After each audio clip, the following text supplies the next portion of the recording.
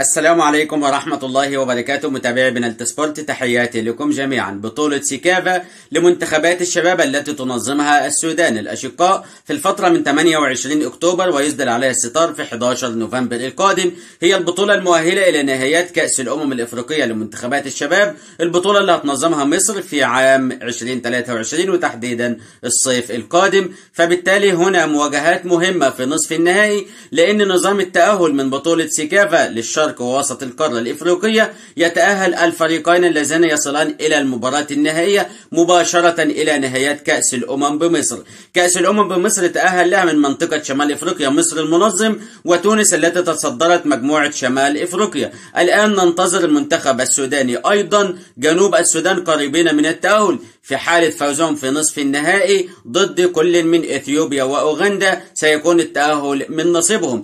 طرفي المباراة النهائية يتأهلان مباشرة. دعونا نتذكر نتائج مباريات هذه المنتخبات وأيضا الترتيب النهائي للمجموعات جدول مباريات نصف النهائي بالموعد والتوقيت والقنوات الناقلة. قبل التفاصيل اللهم صل على محمد وعلى آله وصحبه أجمعين. ما تنساش بنالت سبورت بال like وال share والاشتراك. هنتظر توقعاتك لبطل بطولة سيكافا في قسم التعليقات. أما بالنسبة للنتائج منتخب السوداني في هذه البطولة فبعد تعادلهم مع جنوب السودان سلبيا بدون أهداف في الجولة الأولى قدر يكسب في الجولة الثانية ضد جيبوتي 1-0 بنفس النتيجة وحسم تأهله مساء اليوم ضد منتخب بوروندي أيضا بهدف واحد مقابل لا شيء.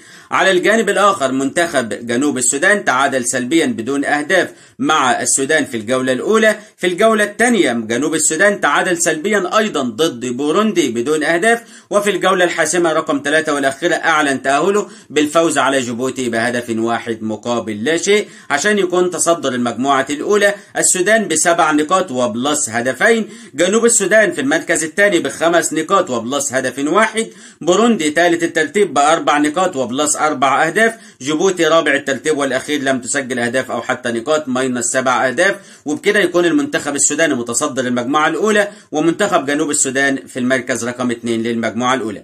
أما بالنسبة للمجموعة رقم اثنين فكانت من ثلاث منتخبات فقط أوغندا وإثيوبيا وتنزانيا. الترتيب النهائي لهذه المجموعة بعد مباراة الجولة الثالثة والأخيرة اللي إثيوبيا حسمتها ضد أوغندا بهدف واحد مقابل لا شيء مساء اليوم. إثيوبيا في الصدارة بأربع نقاط مع plus هدف واحد. أوغندا بثلاث نقاط تحسم المركز الثاني مع plus هدف واحد. تنزانيا ثالث الترتيب والأخير وفقدت فرصة الوصول. أما بالنسبة لجدول مباريات النصف النهائي فهتكون يوم الثلاثاء القادم 8 من نوفمبر. المباراة الأولى هتكون الساعة الرابعة عصرا بتوقيت السودان وهو نفسه توقيت مصر. أول المجموعة الثانية منتخب إثيوبيا في مواجهة ثاني المجموعة الأولى منتخب جنوب السودان. استاد الهلال هيستقبل مباراتي النصف النهائي.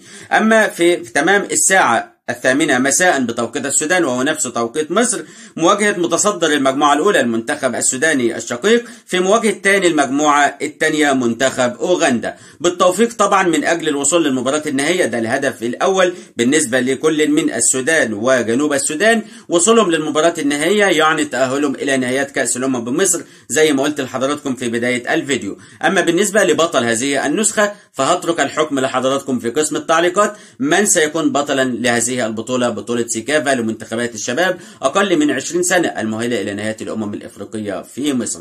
طبعا بعد كده في نص النهائي الوصول إلى المباراة النهائية النهائي هيكون الجمعة 11 نوفمبر الساعة 7 ونصف مساء المباراة النهائية تسبقها مباراة تحديد المركزين الثالث والرابع.